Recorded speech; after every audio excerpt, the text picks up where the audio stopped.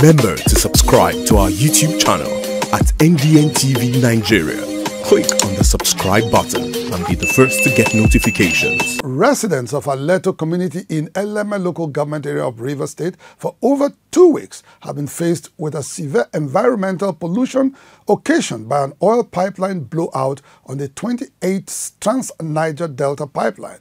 Our correspondent reports that massive crude oil spillage, which was first reported on the 11th of June 2023, is generating serious health concern and has also impacted negatively on the socio-economic life of Aleto community. On the 11th of June this year, residents of Aleto clan in Eleme local government area of River State discovered a ruptured pipeline in oil mining lease 11 spilling crude oil massively into the community and nearby Okolu River.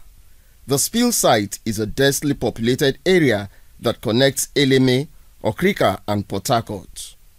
On arrival at the spill site, our crew discovered massive spread of crude oil over a long distance. The air was filled with stench which permeated the ever-busy east-west road. Weeks after the incident occurred, residents still find it difficult to breathe as they call on relevant authorities for help. A couple, Mr. and Mrs. Ngofa, told Inside the Niger Delta that their baby took ill and had been frequenting the hospital. My baby herself, Esther, she struggles to breathe. Uh, if you look at her nose, you see catarrh. She's just going for the clinic now. At night, you can't even breathe well.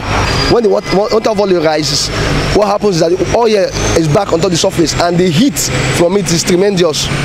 So please, whoever is responsible, both in the high and mighty, please, while you play your blame game, consider the lives of poor Nigerians. Other affected residents are also calling for help. You know, it's crude oil, so it's toxic, it's choking.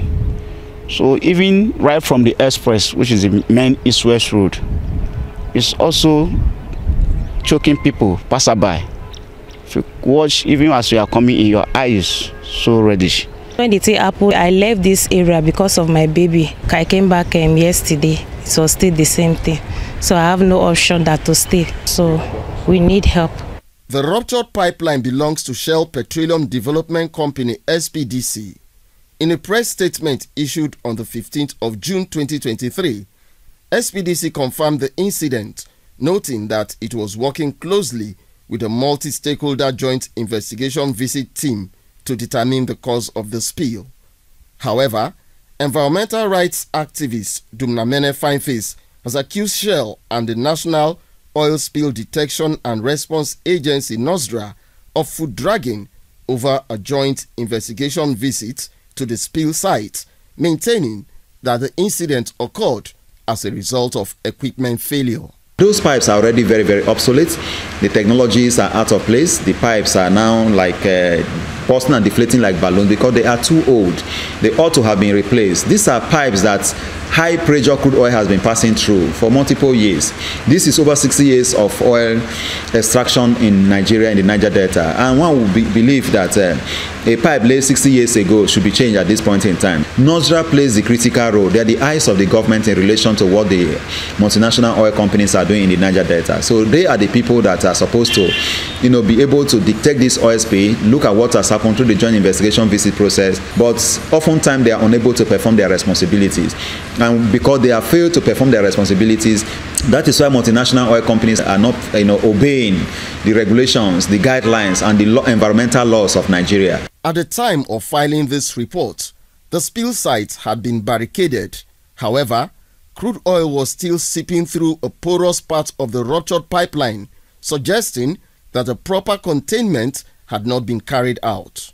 Lawmaker representing Eleme constituency in the River State House of Assembly, Honorable Igwe Aforji says he is working relentlessly to ensure that his constituents get environmental justice. We reach out to all agencies of government, we reach out to all strata of government.